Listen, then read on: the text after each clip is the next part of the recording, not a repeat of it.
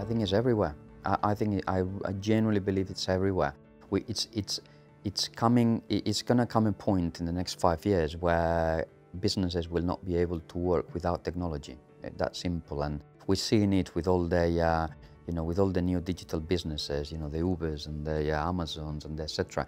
They, they, they, at some point in the next five years, there will be no way back and, and the business will be completely reliant on technology.